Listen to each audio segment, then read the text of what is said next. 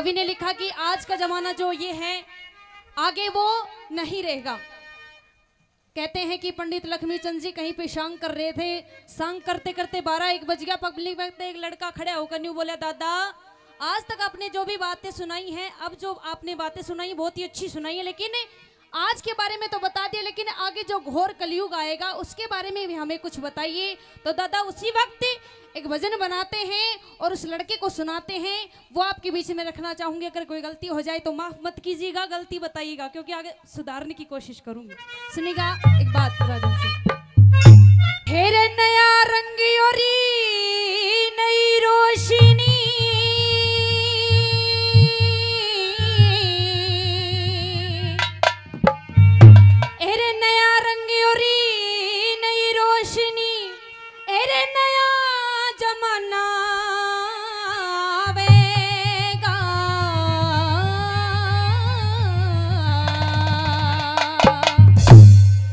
Array जत्ती सती सतवादी मानसी तो हे तेना पावेगा रे। सती सती सत्यवादी मानस।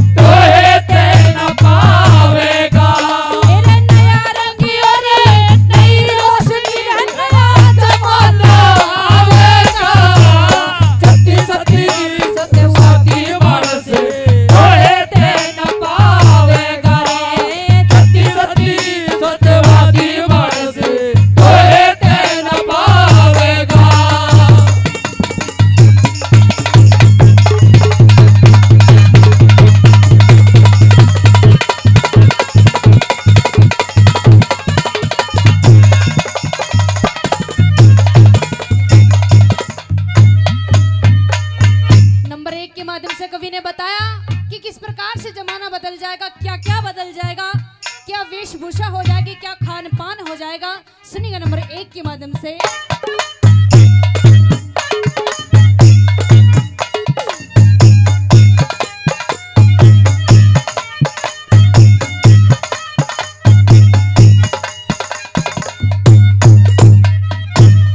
मात पिता और बुआ भाण का आदर मान रहे कौन?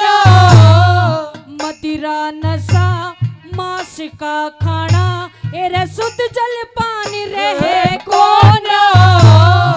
वेद शास्त्र रामायण गीता का भी ज्ञान रहे कौन? गौ गोमती रे गौ गोमती गायत्री का हिर लोगो ध्यान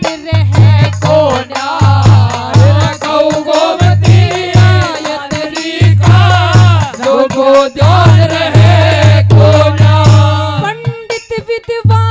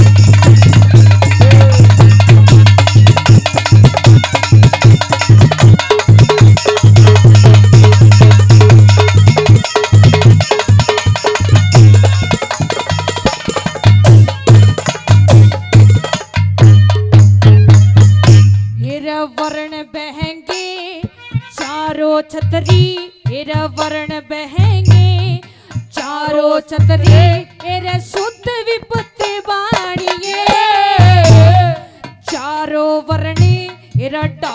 में रहे, धन की गैल जानिए।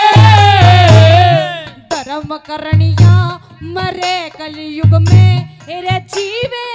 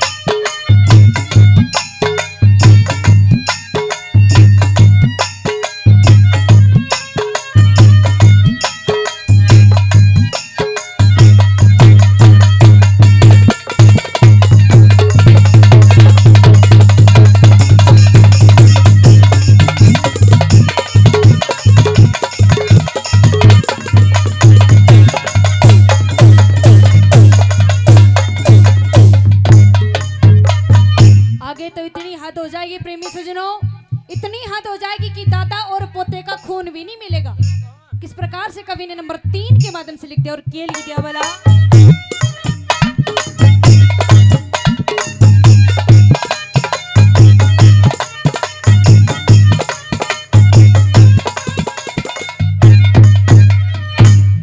बाई पास। हाँ? रे बाई पास बहन बैठेगी ये साली रोटी पोवेगी।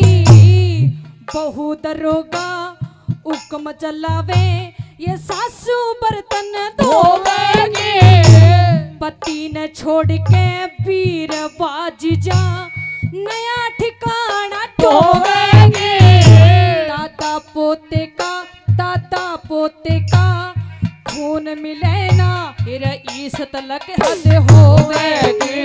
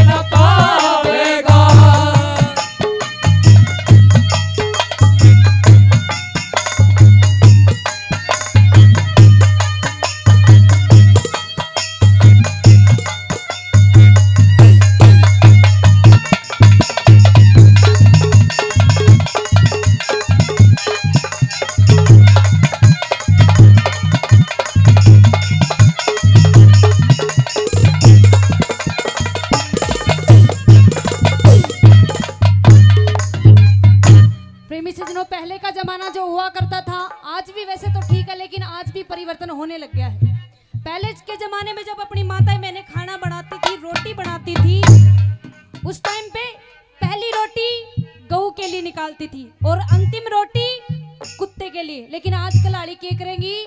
पहले वाली सासू ने खिला दे। या फिर अपने पति ने खिला देंगे बस सारा सारे ही दिन गऊ बने अंडेगा लास्ट की रोटी खुद खा जाऊँ, कुत्ते की तरह भों भों भौंकती रहेंगी। और ये जो साधु संत हैं, इनकी तो बस पूछो ही मत कि रघुपति राघव राजा राम रघुपति राघव राजा राम और जेल के अंदर आसाराम। एक एक और आगे है, राम रहीम भाई। गिनती हो रही है इनकी। इसलिए कवि ने बताया और किस प्रकार से जमाना बदल जाएगा, सुनिए